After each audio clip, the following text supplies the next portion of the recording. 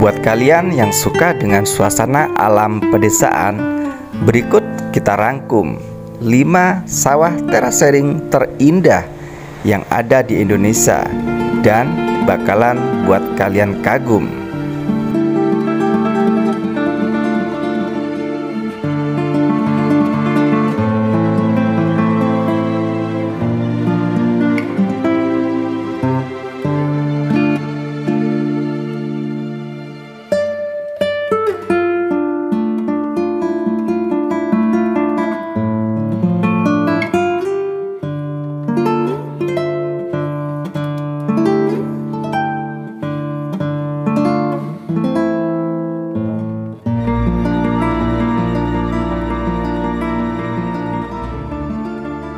Halo, assalamualaikum warahmatullahi wabarakatuh. Terima kasih teman-teman sudah mampir ke Nono Channel. Teman-teman, Indonesia dikenal sebagai negara agraris. Berbagai macam lahan pertanian berupa sawah pun tersebar, nggak cuma di Pulau Jawa, tetapi juga Bali hingga Sulawesi. Nah, selain berfungsi sebagai sarana bercocok tanam, sawah juga memiliki nilai estetika yang kuat. Maka nggak heran jika Indonesia memiliki banyak sekali teras sawah yang menakjubkan dan cocok dijadikan daerah wisata teman-teman. Nah, kali ini saya sudah mengumpulkan 5 destinasi wisata teras sawah di Indonesia yang wajib banget kamu sambangi Siapa tahu kalian sedikit bosan dengan suasana wisata pegunungan atau pantai atau bahkan suasana perkotaan. Namun sebelum lanjut ke video, sekali lagi nih saya ingatkan buat kalian yang mungkin baru saja nemuin channel ini dan kebetulan kalian suka dengan konten-konten motovlog, traveling, dan suasana alam pedesaan, kalian bisa langsung subscribe channel ini teman-teman agar kalian tidak ketinggalan dengan konten-konten terbaru dari Nono Channel serta nyalakan pula loncengnya agar kalian dapat notifikasi video-video terbaru dari channel ini. Oke, tanpa perlu banyak lagi basa-basi, langsung saja yuk kita cekidot. Di nomor pertama, di sini ada teras sawah Tegalalang. Jika kalian sedang berada di Pulau Bali, saya saranin nih buat kalian untuk mampir ke daerah Ubud teman-teman. Di sana kalian bakal menemukan teras sawah indah dengan latar belakang perumahan warga di atasnya. Lokasinya yang tidak terlalu jauh dari kota Ubud menjadikan Tegalalang sebagai salah satu destinasi wajib jika kalian mengunjungi Ubud teman-teman. Di sana kalian bisa menyaksikan keindahan panorama buatan manusia berupa sawah bertingkat atau lebih dikenal dengan sebutan terasering.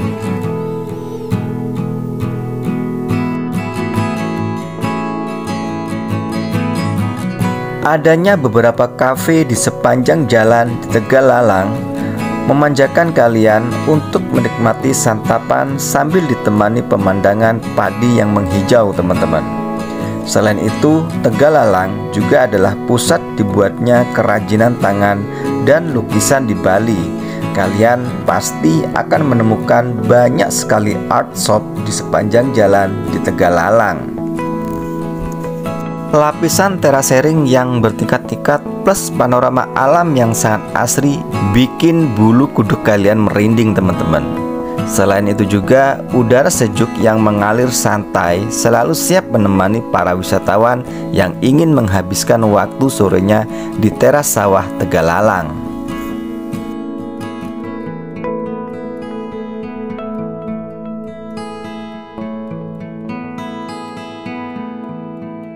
Dari Pulau Bali, kita ke Pulau Jawa teman-teman Melipir sedikit ke Jawa Timur Tepatnya di kota Trenggalek kalian bakal menjumpai salah satu teras sawah terindah di Pulau Jawa.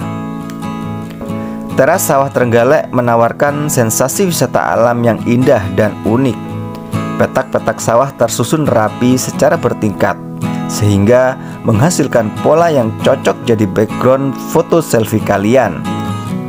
Ditambah lagi cuaca tropis Trenggalek berpadu mesra dengan panorama teras sawah anti mainstream ini teman-teman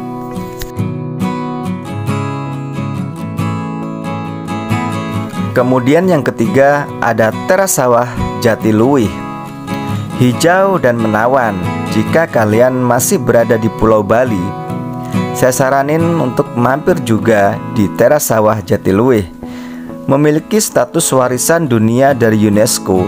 Teras sawah yang satu ini sudah dikenal sejak zaman penjajahan Belanda, teman-teman, dan berada di ketinggian 700 meter di atas permukaan laut, sehingga membuat udara di teras sawah Jatiluwe sangat sejuk, teman-teman.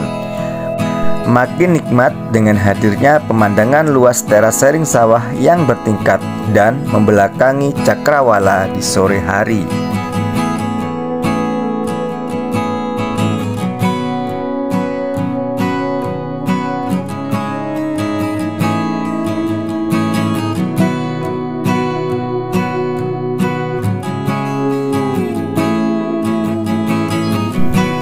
Kemudian yang ketiga, teras sawah Tanah Toraja. Tanah Toraja di Sulawesi Selatan nggak cuma dikenal dengan koleksi tempat wisata prasejarahnya, teman-teman. Di sini kalian juga bisa menikmati panorama teras sawah yang cukup mengesankan. Berada di lereng pegunungan kontur teras sawah Tanah Toraja landai memberikan landscape keren tersendiri buat kamu. Ditambah lagi penampakan Gunung Sisian di belakang persawahan memberikan kesan megah tersendiri buat wisata teras sawah Tanah Toraja. Kemudian yang terakhir ada teras sawah Detu Soko.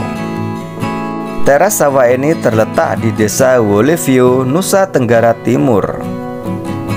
Tertata sangat rapi Wujud teras sawah Detu Soko di desa Wolevio, Nusa Tenggara Timur ini pasti bikin kalian gak bisa move on.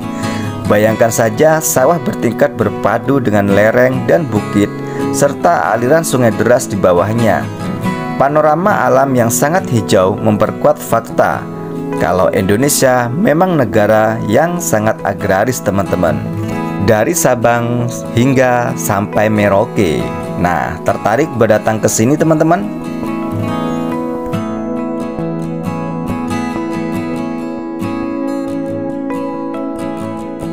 Itulah tadi 5 wisata teras sawah di Indonesia yang wajib kalian kunjungi. Sekian untuk video kali ini, mudah-mudahan kalian terhibur dan mudah-mudahan video ini menjadi wawasan baru buat kalian. Assalamualaikum warahmatullahi wabarakatuh dan sampai jumpa di video berikutnya.